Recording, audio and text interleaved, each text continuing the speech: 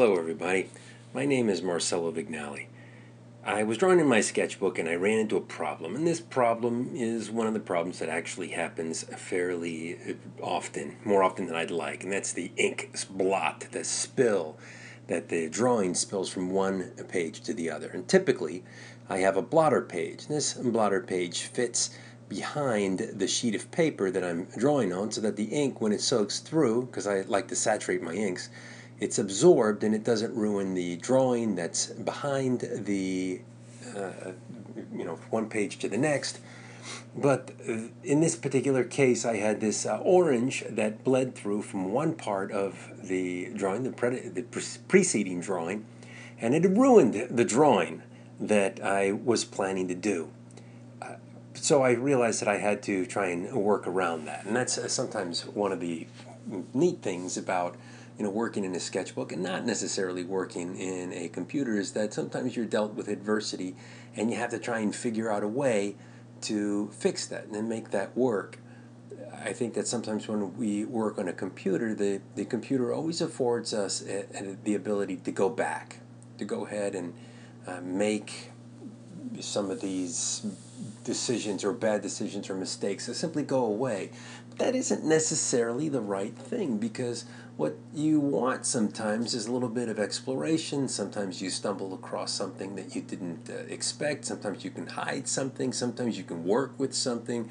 So it gives you different challenges that you're not going to have if you're working on the computer.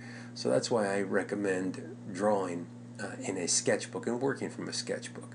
And part of the reason why you want to work in a sketchbook is how uh, it is incredibly vital and important to learn how to design. You can see the drawing that I have here. I'm using my fractal method, and this is a method that I've been developing over the years that I discovered while I was doing figure drawing. And over the process of while I was doing my figure drawing, I started to understand purpose, uh, why we do figure drawing, why it's important uh, to continue this training. Even though I'd been working in animation for several years and I'd already been well respected uh, within the industry, the fact that I was going to these figure drawing workshops and continuing to learn and continuing to grow uh, was a valuable process, but also not just training to do the figure drawing for the sake of doing figure drawing. No, I found that at first, you know, my, my instincts were that I wanted to learn how to draw the figure and I wanted to learn how to draw the figure effectively. I wanted to learn how to draw the anatomy. And I kept pouring all of this attention and all of this effort into the anatomy and understanding the structure and I have to admit that it didn't necessarily make my drawings that much better. I remember sitting next to someone who's an absolutely brilliant artist, is a, more than that, a brilliant designer. And while I was sitting next to them, I, I knew that I knew more. I had built a model in, in my spare time uh, in order to study the anatomy, and I draped muscles over it in clay and so that I would understand, uh, you know, intricacies of all the different muscles. But when it came right down to it, my drawing was not better than his drawing. My drawing looked worse. And I thought, how can this be? If I have all the lumps and bumps, I have all the muscles exactly where they need to be, why is it that my drawing doesn't look good? And so it was one of those moments of reflection where I had to go and try to figure out where the problem was. Because if the solution had always been, well, to learn the anatomy and to learn it so well that I will do good drawings, that, that plan wasn't going to work, that I had to sort of change course. And I think it's a, it's a testament to when you're working uh, and you want to be a better artist, that you have to have a really sober assessment of yourself. You have to be able to look at yourself objectively and realize what it is that you want to do with your art. It isn't so much that, you know, the, um, you just uh, plot a course and uh, or you don't even plot a course. You just sort of plod through your career and, and good things are going to happen. No you have to kind of plan for where it is that you want to be. And if you realize that you're not getting there that you have to be able to make the course adjustments uh, so that you can reach your goal. I'm, I'm very much goal oriented i think that if you want something you have to set that as your goal you have to verbalize it. You have to make a definite statement about what it is that you want. And in this case here, I certainly wanted to be a better artist. I wanted to be a better designer. And I understood that there was a difference.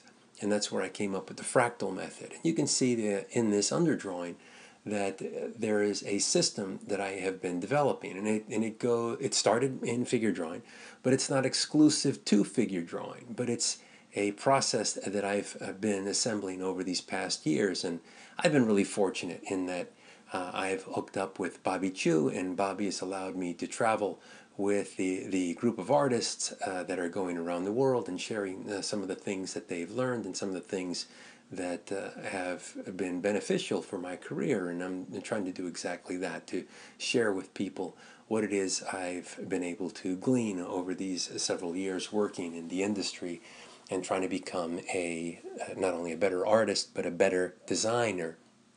And I also understand the, the importance not only of you know having a system by which to train and having the appropriate system by which to train, but also having uh, the training become an important part of it. Look, it's got to be fun. If it's not fun, you're not going to do it. And that's why I have this sketch club that I've developed. And in this sketch club, I get together with friends and we go and we have a wonderful time. We uh, sit and draw. The tools that I'm using right here, these are the exact tools that I would be using when I go out and do my drawing, whether it's coffee shop drawing or whether I'm going to the uh, my Friday restaurant with my friends and we uh, hang out and we get to sketch. And this is a, our sketch club. Uh, all of these things are, are vitally important to me, not only because it's something that I set a goal for, you know, to be a better designer, but uh, also to remind myself why I do what I do. I think sometimes when we're working in the industry, we start thinking that, uh, oh, well, I'm, I'm a professional, I already know what it is that I need to know, and uh, you only work uh, when you're uh, being paid. I had the unfortunate uh, opportunity to actually hear those words being uttered by a, a friend of mine uh, years ago, and he had made that comment, and I realized that this particular person had uh, had stopped growing and stopped loving what it is that they do, and I and I vowed at that moment that I would never be like that person, and I always try to keep that spark alive for what it is that I love to do, and I, I'm not going to let anyone take that away.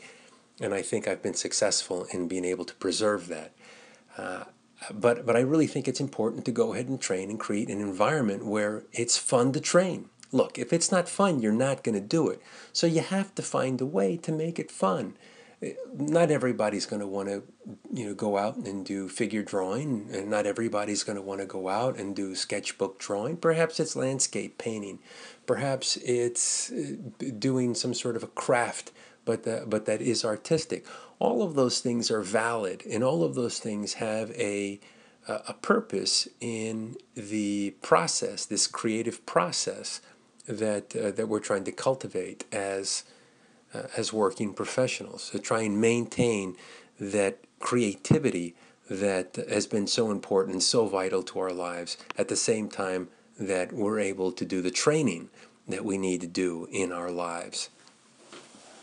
In this drawing, I've you can see that I have a, this uh, blocked out system it's exactly the same system that I use in figure drawing. It doesn't matter if I'm drawing a figure, it doesn't matter if I'm drawing an animation character, and it also doesn't matter if I'm drawing a background. The design principle is always the same. Good design. And good design has a system and it has an order. And that's what the fractal method, this uh, method that I've been putting together, that is what the fractal method uh, has uh, in it. That's the that is what the system is all about.